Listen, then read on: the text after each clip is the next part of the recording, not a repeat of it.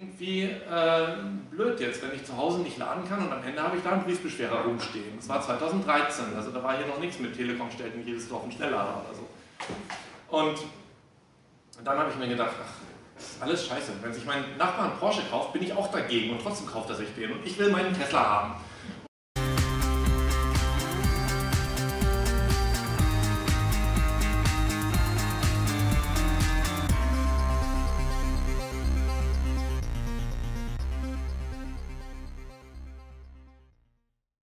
Zusammen, schön, dass das so super geklappt hat. Ich bin selber super glücklich hier zu sein, denn ich habe leider den letzten und wohl sehr denkwürdigen Stammtisch, den Henning da im Norden organisiert hat, aus terminischen Gründen verpasst.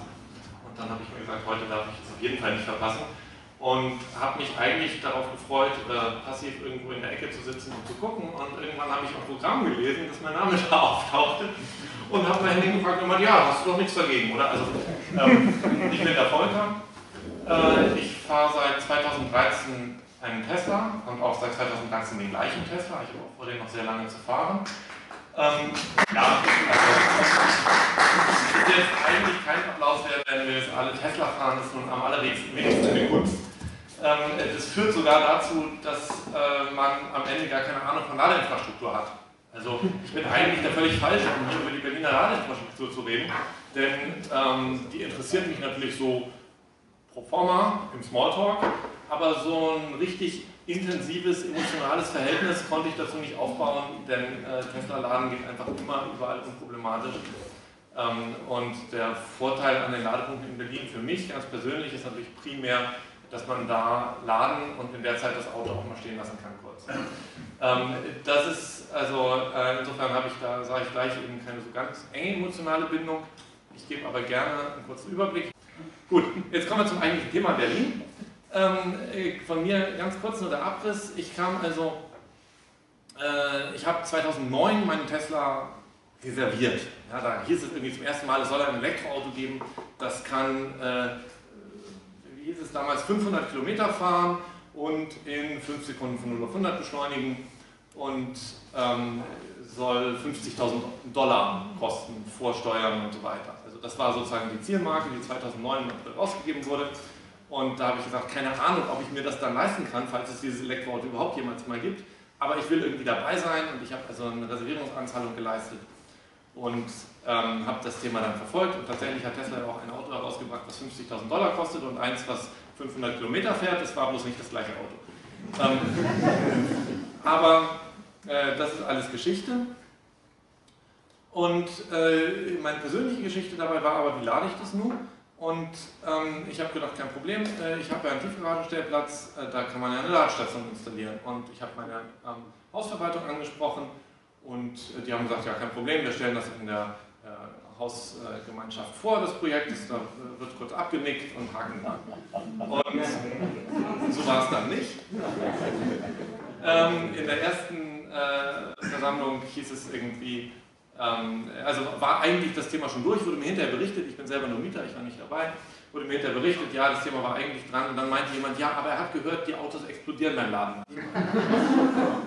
Und dann haben alle gesagt, ja, pff, nee, also dann äh, vielleicht auch. Und äh, dann habe ich also ein Jahr lang Politik gemacht, ein Jahr lang mich intensiv informiert und habe also Statements eingeholt von Tesla, von Batterieherstellern, von Batterieprüfinstituten, vom TÜV, von der Feuerwehr und so weiter ähm, äh, um, und habe so eine richtige Broschüre zusammengestellt und habe gesagt, Leute, hier, das ist sicher, das ist äh, wunderbar.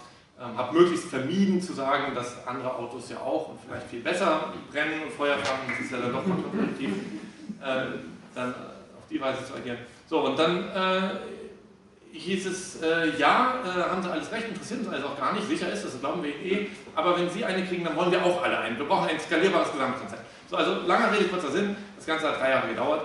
Äh, und ähm, ich habe tatsächlich kurz, weil ich ja wirklich einer der Ersten war und in meinem eigenen Bekanntenkreis der Erste, der jetzt diesen Sprung gemacht hat, ähm, äh, habe ich kurz gezögert, äh, soll ich jetzt wirklich ein Elektroauto kaufen? Also ich habe mir schon irgendwie so ein Volvo-Hybrid angeguckt und was es damals so alles gab und dachte so, hm, also irgendwie äh, blöd jetzt, wenn ich zu Hause nicht laden kann und am Ende habe ich da einen Briefbeschwerer rumstehen. Das war 2013, also da war hier noch nichts mit Telekom stellt jedes Dorf einen Schnellader oder so.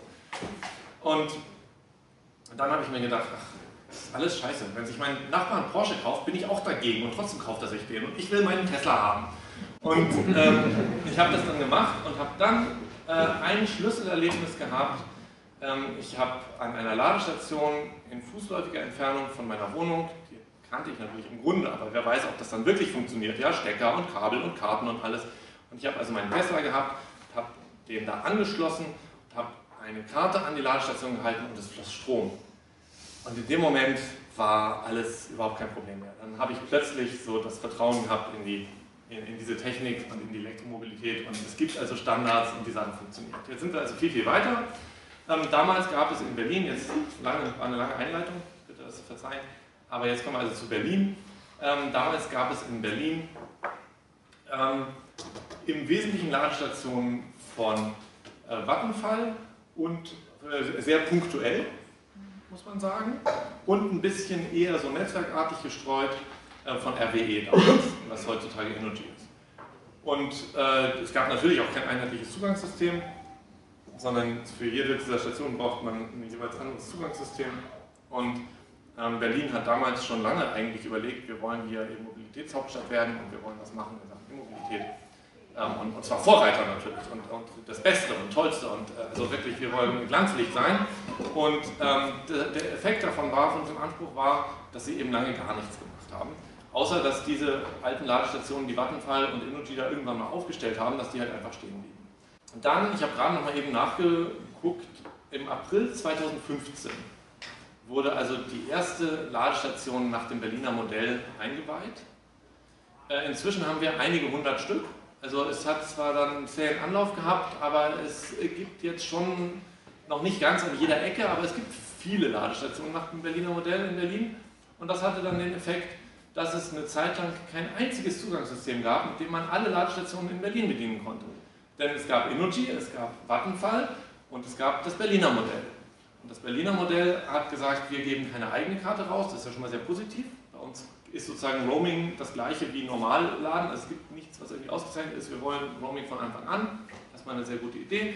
Äh, Sie haben auch gesagt, wir wollen, ähm, wir, machen es zur Bedingung, dass alle unsere Ladestationen, alle Ladestationen, die ab sofort in Berlin aufgestellt werden müssen, die müssen mausgrau sein, Rahlfarbe mausgrau.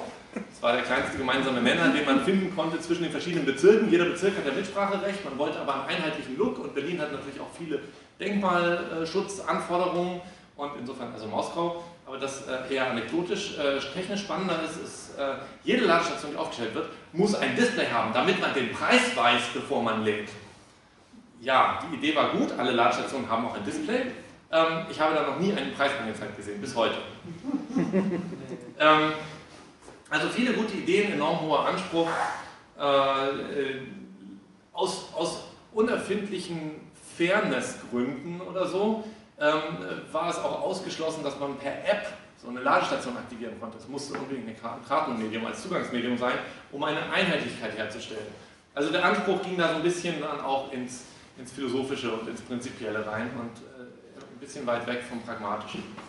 Ähm, was unter anderem dazu geführt hat, dass es ein, ein, eine Fehde gab, eine lang andauernde Kampfhandlung geradezu äh, gerichtlicher Art zwischen RWE, was mittlerweile dann Innogy war, und äh, dem Berliner Senat, weil der Berliner Senat nämlich gesagt hat, eure, ähm, eure äh, Lizenz, die Singer da aufzustellen, also Standort, wie heißt das Standort? Äh, Nutzungsrecht.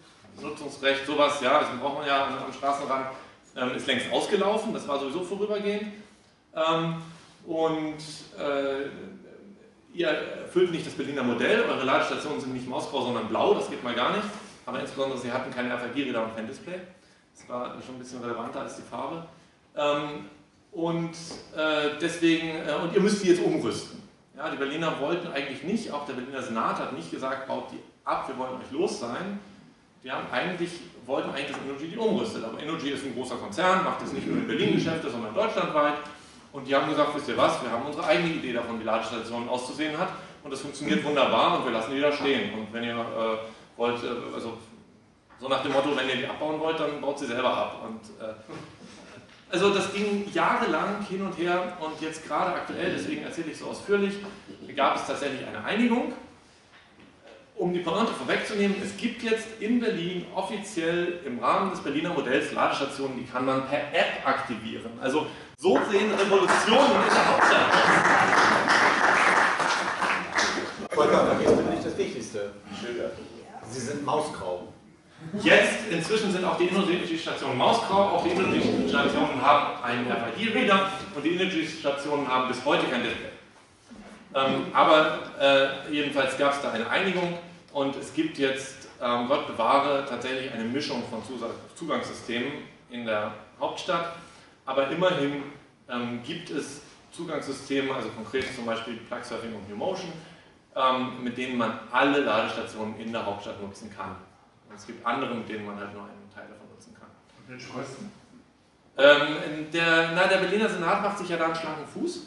Ähm, die sagen nämlich, äh, die Kosten mit den Nutzern, mit den Nutzern haben wir ja nichts zu tun, dafür gibt es ja die Roaming-Anbieter, die EMPs. Wir sind ja nur ein CPO, ein Charge Point Operator und ähm, die Kosten, die wir an die EMPs berechnen, das sind 39 Cent pro Kilowattstunde für, ähm, für AC und 59 Cent pro Kilowattstunde für DC. Stand der Information gestern. Also das ist jetzt äh, ganz, ganz neu. Äh, zunächst mal äh, gab es einen Minutentarif. Da gab es auch lange philosophische Erklärungen, warum das jetzt irgendwie gerechter sei ähm, als alles andere. Ähm, dann kam das Eichamt und hat gesagt, äh, ihr habt ja nicht mal irgendwie, ähm, also ihr, ihr, dürft eigentlich gar nichts abrechnen, weil ihr äh, gar, äh, die Informationen gar nicht eichrechtskonform aus der Ladestation raustransferiert. Ähm, und äh, das Ergebnis davon war dann, dass die Ladestationen quasi über Nacht umgestellt wurden auf einen Session Fee, 6 Euro, egal wie lang, egal wie viel. Ähm, und jetzt ist gestern oder vorgestern habe ich eine Pressemeldung gesehen, seit dem 15.08.